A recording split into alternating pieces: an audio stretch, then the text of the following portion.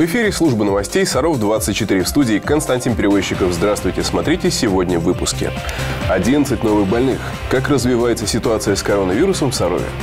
Опять ремонт. На новом мосту размыло насыпь и тротуар. Соблюдение традиций и питание по особым правилам. 14 августа у православных христиан начинается Успенский пост. Далее расскажем обо всем подробно. Доктор медицинских наук, депутат Государственной Думы Геннадий Онищенко в интервью Федеральному агентству новостей прокомментировал появившиеся в сети слухи о том, что с 21 сентября российских школьников переведут на удаленный режим обучения из-за якобы второй волны коронавируса. Знаете, надо строить свою работу, отталкиваясь от объективной информации. А те, кто распускает слухи, заигрались, видимо. Кто только не упражнялся на этом несчастном коронавирусе. И выборные кампании строят на ней, и политическую борьбу. А теперь решили поиграться рангом пониже. По словам Онищенко, на сегодняшний день нет никаких оснований для ограничительных мер. Но при этом надо помнить, что в России каждый год самый, в кавычках, благоприятный эпидемический период – это начало сентября. Дети естественным образом обмениваются вирусами, начинают заболевать. И этого процесса не избежать. То же самое будет и в нынешнем году. Однако в период эпидемии россияне приобрели навыки использования средств индивидуальной защиты и антисептиков. И эту новую привычку, отметил Геннадий Онищенко, надо всячески поощрять и развивать. Также депутат заявил, что нужно обязательно вакцинировать детей от гриппа в сентябре.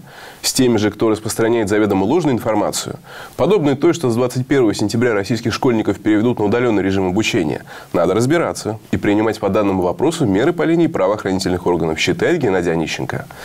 По состоянию на 13 августа в России зарегистрировано более 907 тысяч случаев заражения коронавирусом. За последние сутки вывели 5057 новых больных. Выздоровели за все время эпидемии 716 тысяч россиян. Скончались 15 384 человека. В Нижегородской области введены новые послабления ограничений. Подробнее их расписал в своем инстаграме губернатор Глеб Никитин. По решению оперативных штабов муниципалитетов можно проводить памятные мероприятия с количеством участников до 50 человек. Везде в общественных помещениях необходимо соблюдать дистанцию и носить маски. На свадебных церемониях могут присутствовать 12 человек в помещении и 20 на улице. Для фитнеса ограничение занимающихся немного меняется. Вместо одного человека на 10 квадратных метров – один человек на 8 квадратных метров метров. Для бассейнов ограничение 10 квадратных метров водной глади бассейна на одного человека остается. Кроме того, теперь можно проводить спортивные соревнования на открытом воздухе со зрителями до 70 человек или в помещениях без зрителей. На них могут приехать спортсмены из других регионов. Начнется ли в свете последних послаблений чемпионат области по футболу? Как он будет проходить и будет ли в нем участвовать Саровский клуб, расскажем в ближайших выпусках новостей. По состоянию на 13 августа в Нижегородской области зафиксировано более 25 тысяч случаев заражения коронавирусом. За последние сутки вывели 130 новых больных. Выздоровели 22 тысячи нижегородцев, скончался 421 житель региона. 11 новых случаев заболевания коронавирусной инфекцией зафиксировано в Сарове. Всего за время эпидемии в городе зарегистрировано 1034 случая заражения. Выздоровели за сутки еще 5 человек.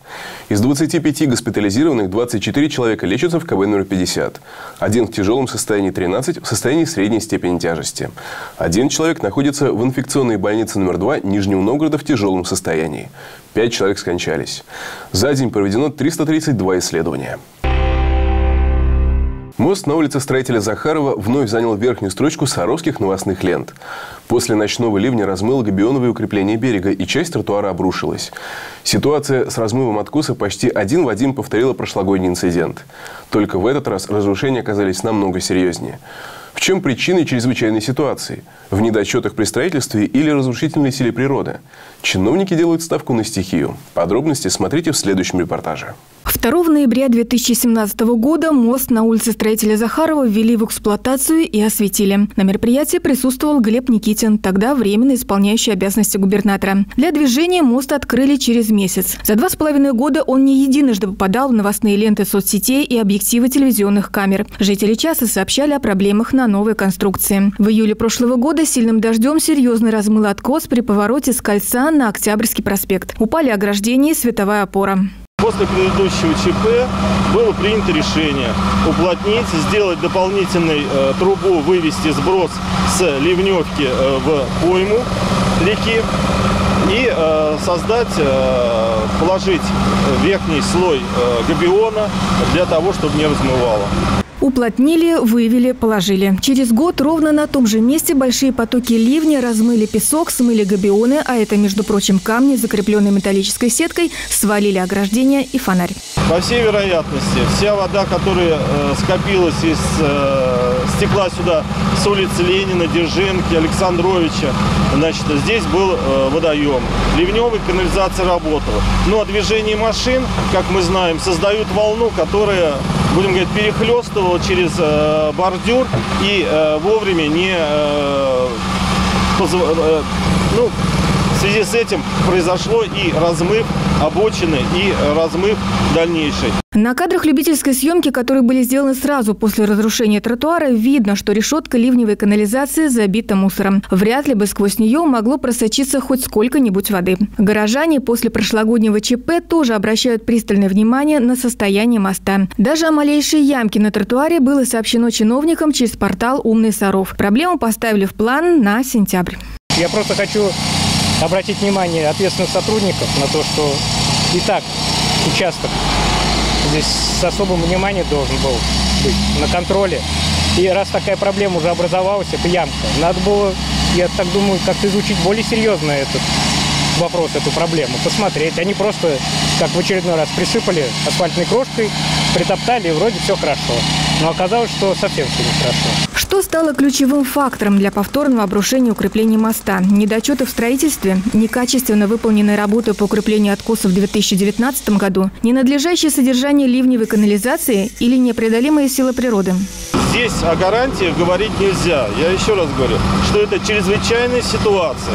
Гарантии, э, если бы э, вот это вот те работы, которые мы в прошлый раз произвели, они в процессе эксплуатации дали оса, это, э, осадок, дали, дали бы смещение какое-то. Вот эти гарантии.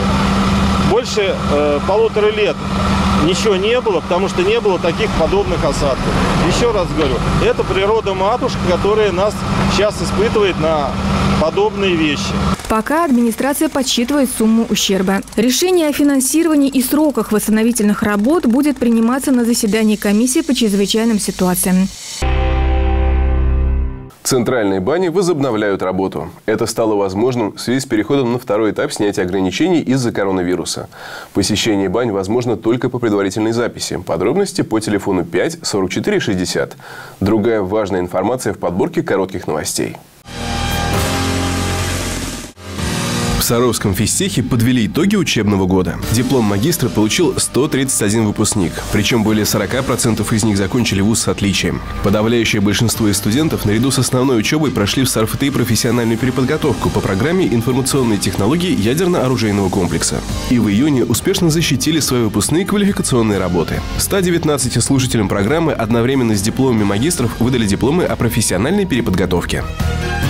С 4 по 6 сентября в Сарове пройдет образовательный онлайн-форум «Новая реальность-2020». Это уникальная площадка, где каждый сможет подготовить и предложить к реализации свою инициативу. Она направлена на поддержку активной, творческой и талантливой молодежи. Основная задача – помочь ребятам, которые хотят привнести в жизнь города что-то новое, представить свои проекты, получить помощь и советы от экспертов. К участию приглашаются молодые люди в возрасте от 16 до 35 лет. Подать заявку можно будет до конца месяца на портале «Молодежь России». Более подробно о форуме «Новая реальность» можно можно узнать на официальной странице проекта ВКонтакте.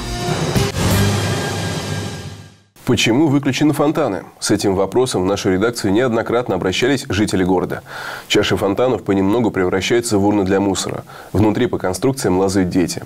Когда фонтаны почистят и включат ли их в этом году, выясняла наша съемочная группа.